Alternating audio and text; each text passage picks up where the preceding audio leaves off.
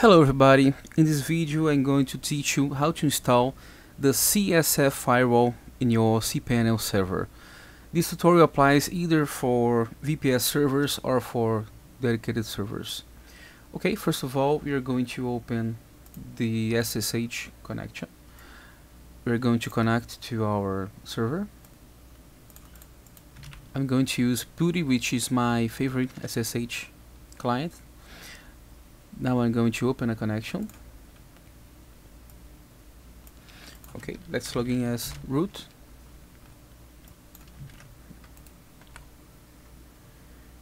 Okay. Now we are inside our server. First of all we are going to access the folder usr src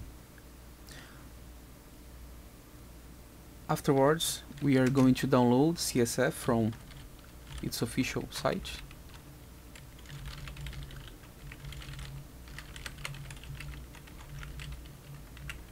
We're going to issue this command.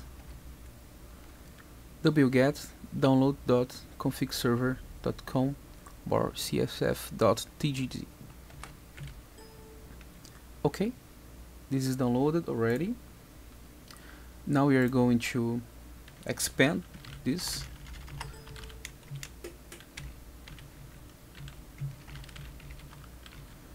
we are going to do a tar xzf csf.tar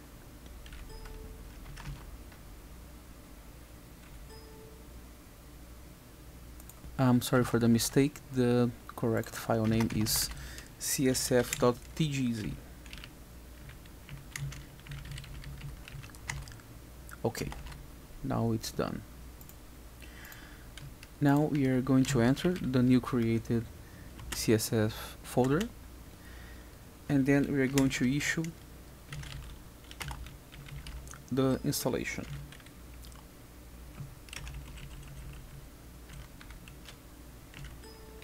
Just sh install.sh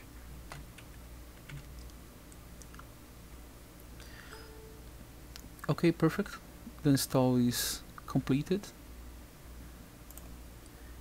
and now we must perform a test whether we have all the IP tables modules by running this command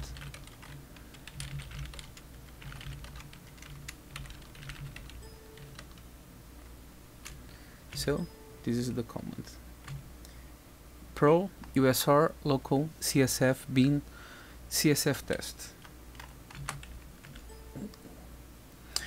It's okay. Uh, CSF performed some tests. We have the standard IP tables modules and results. CSF should function in the server. So CSF is already successfully installed. We're going to the WHM inside our cPanel so that we can configure our firewall inside cPanel.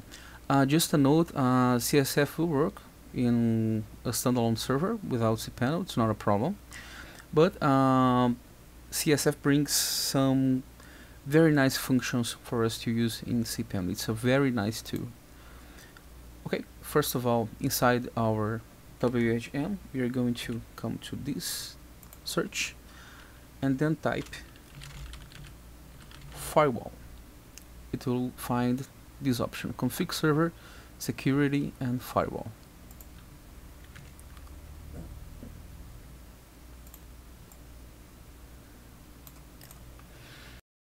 okay uh, we are now inside the configuration of CSF inside our cPanel and um, we must pay attention to this. Firewall status enabled but in test mode. What does it mean? There will be a cron job uh, to reset the firewall every let's say five minutes. And this is important if we do anything let's say if we block any important port it will automatically undo the changes.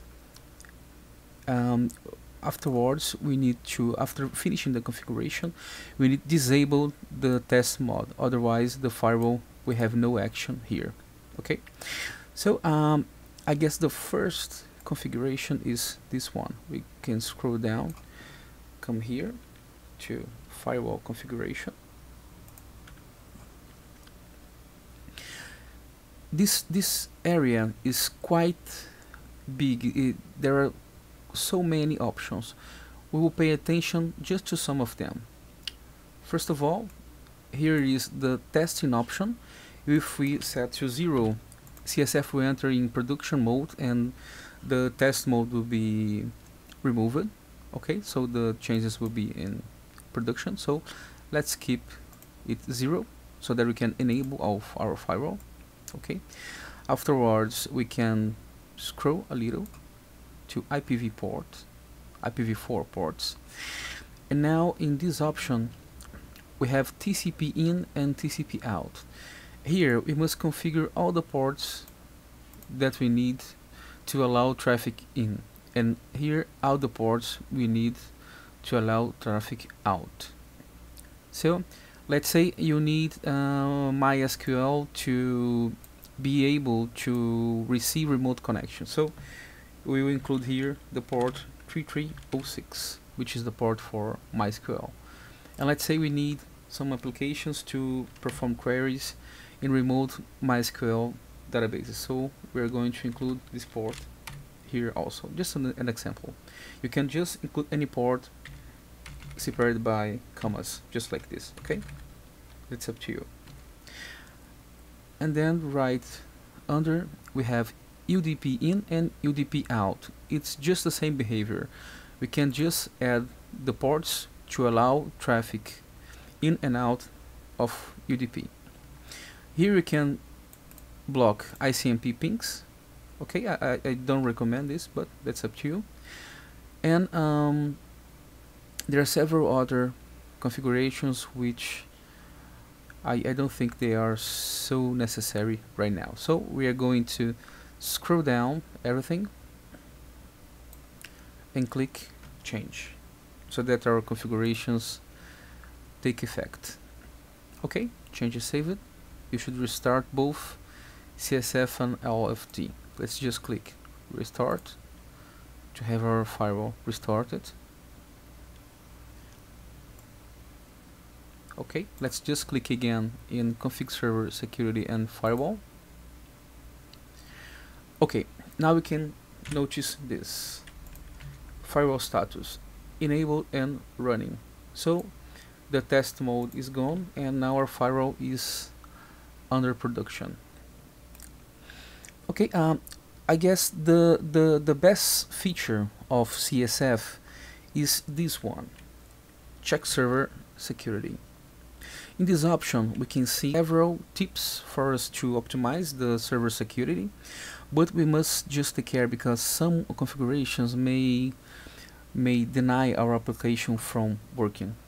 So if you scroll this screen you will see many alerts in red which are recommendations for you to perform fixes in your server and as you scroll down you will see a score. What does it mean? Our score is low so it means our server is quite unsafe. This is the default installation by the way. We'd better arrive to here to the green so our server is more safe against threats. So we can just follow each tip they give and close ports and disable servers perform their configurations here. Okay this is very important to do. We can do another video just specifying each configuration and giving an example about how to secure the the server. Okay but in this video uh, we are going to teach how to use and install CSF let's go back to the CSF module. Okay. Right um, the second widely used option is the allow and deny IP addresses. What do they mean? As you enter an IP addresses here in allow that means this IP will be allowed to perform any any task any incoming traffic any port anything. It's just a whitelist. Is important for you to have all the IP addresses of your technicians, your employees inside this list so that the firewall never blocks by accident these IPs. And the deny IP addresses are the blacklist for your IP address. So let's say you have an attack on DDoS from any source. So you can simply place the IP address here so that it will be immediately blocked. So after so after placing these configurations you should just click quick allow to allow these IP addresses okay allowing and to deny uh, IP address you should simply write the IP address for an example and then click quick deny. Okay so it's blocking the desired IP address okay another nice tip for the CSF firewall is the quick unblock. So let's say uh, the firewall blocked an IP address of a customer by accident. So you should just write here his IP address. So it's automatically unblocked. And then you click here quick unblock.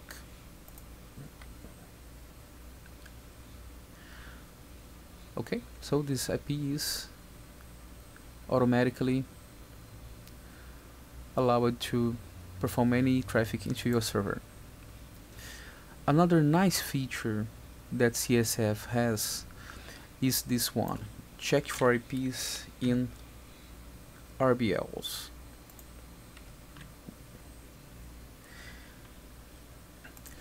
In this tool, it will check every IP address of your server for any public blacklists. So, to perform the test, you should simply click here, update all checks. This is just checking the RBLs, it takes several minutes to complete, yes. I'm going to pause this video and then I'm going to come back after this is completed.